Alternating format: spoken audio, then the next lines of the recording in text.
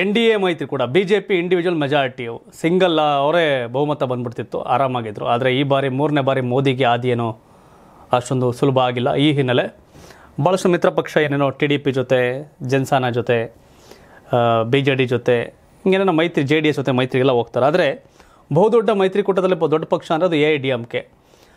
Annamalai ಕರ್ನಾಟಕದ ಇಲ್ಲಿ I P S officer ಆಗಿದ್ದರು ರಾಜೀನಾಮೆ ಕೊಟ್ಟರು ಅದ್ರ ರಾಜಕಾರಣ ಬಿ ಜೆ ಪಿ ರಾಜ್ಯಾಧ್ಯಕ್ಷ ಈಗ ತಮಿಳುನಾಡಲ್ಲಿ.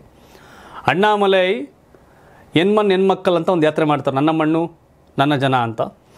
ಅದು ಯಾವ ರೇಂಜ್ಗೆ ಆರ್ಭಟ ಅಂತಂದರೆ ದೊಡ್ಡ ಡಿ ಎಂ ಕೆ ಅಷ್ಟೇ ಜನ ಸೇರೋಕೆ ಅಣ್ಣಾಮಲೈ ಜೊತೆ ಶುರುವಾಗಿದ್ದಾರೆ.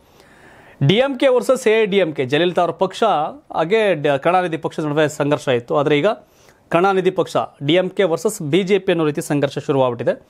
ಸೊ, ಹೀಗಾಗಿ ನಾವೇನೋ ಮೈತ್ರಿ ಆದರೆ ನಮ್ಮನ್ನು ತೀರಿಸ್ಬಿಡ್ತಾರೆ ಇವರು ಅಣ್ಣಾಮಲೈ ಇವರೆಲ್ಲ ಹಾಗಾಗಿ ಪದೇ ಪದೇ ನಮ್ಮ ಜಯಲಲಿತಾ ಅವ್ರನ್ನ ಟೀಕೆ ಮಾಡಿದ್ದಾರೆ. ಅಣ್ಣಾಮಲೆ, ಹೀಗಾಗಿ ನಾವು ಎನ್ ಡಿ ಎ ಜೊತೆ ಹೋಗಲ್ಲ ಅಂತ ಜಯಕುಮಾರ್ ಬಹಿರಂಗವಾಗಿ ಮೈತ್ರಿ ಮುರಿದುಕೊಳ್ಳೋ ಮಾತನ್ನು ಹಾಡಿದ್ದಾರೆ.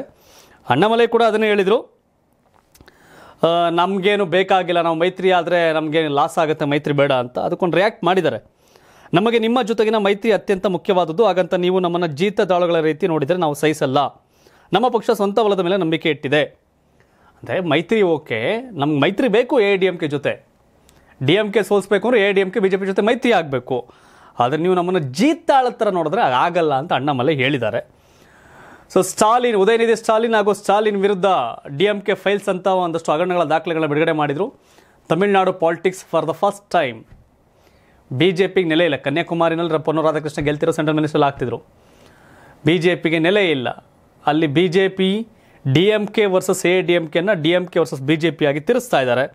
ಅಣ್ಣಾಮಲೈ ಆರ್ಭಟ ಎ ಡಿ ಎಂ ಕೆಗ ಮೈತ್ರಿ ಮುರಿದುಕೊಳ್ಳುವಂಥಕ್ಕೆ ಬಂದು ನಿಂತಿದೆ. ಏನು ಹೇಳೋಕ್ಕಾಗಲ್ಲ. ನರೇಂದ್ರ ಮೋದಿನೇ ನಮಗೆ ಬಾಸ್ ಅಂತಾರೆ ಅವರೆಲ್ಲ. ಪನ್ನೀರ್ ಸೆಲ್ವಂ ಪಳನಿಸ್ವಾಮಿ ಎಲ್ಲ. ಸೊ ಏನಾಗುತ್ತೆ ಅಂತ ಕಾದು ನೋಡಬೇಕು. ಬಟ್ ಜೈಕುಮಾರ್ ಹೇಳಿದ್ರೆ ನಡೆಯಲ್ಲ ಅಲ್ಲಿ.